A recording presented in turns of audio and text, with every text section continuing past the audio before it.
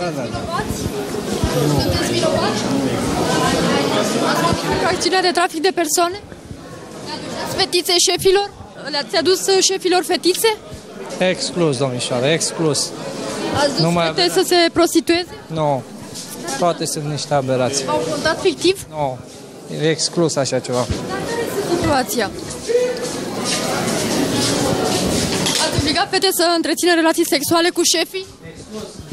Pentru prima dată de când a ajuns după gratii lăcătușul Aristică Bejinaru, despre care procurorii spun că din anul 2010 ar fi comis fapte de trafic de persoane și proxenetism, a făcut astăzi declarații. Spune clar că nu, nu a săvârșit aceste fapte, în schimb recunoaște că a avut unele relații intime și de prietenie cu anumite persoane din uh, părți vătămate din dosarul cauzei. A fost angajat în cadrul acelei societăți pe postul de lecătuș mecanic, dar avea prin fișa postului delegare cu privire la aprovizionarea acelei uh, societăți comerciale și în fiecare zi uh, era cu totul în alte locuri în cadrul acelei societăți. Probabil și de asta uh, îl, îl vedea lumea sau, mă rog, organul de urmărire în diferite locații. Aristică Bejinaru și Casian Bejat, bărbatul considerat complicele său, au fost prezentați astăzi în fața judecătorilor de la Tribunalul Gorj. Instanța a prelungit măsura pe o durată de 30 de zile. Hotărârea nu este definitivă. Apărătorul lui Casian Bejat susține că bărbatul a recunoscut un singur lucru.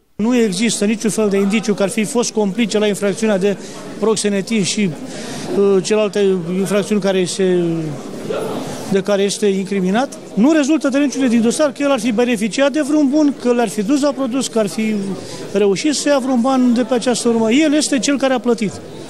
Fiecare dintre fetele care a avut uh, raporturi sexuale le-a plătit. Uh, nu vedem care este complicitatea la acest dosar. Aristică Bejinaru este acuzat de procurori și că le-ar fi plasat unor șefi mai multe tinere ca să intre în grațiile lor și pentru a fi favorizat să nu se prezinte mai deloc la serviciu. Apropiații acestuia exclud varianta că lăcătușul să fi comis infracțiunea de proxenetism, întrucât se împrumuta mereu și nu dădea semne că financiar iar merge bine. Aceleași surse susțin că acesta ar avea datorii de peste 60.000 de lei. Bărbatul care și-a pierdut și locul de muncă ar fi declarat că se confruntă cu o răzbunare și că totul a pornit după ce a fost denunțat de doi deținuți, împotriva cărora ar fi și depus o plângere.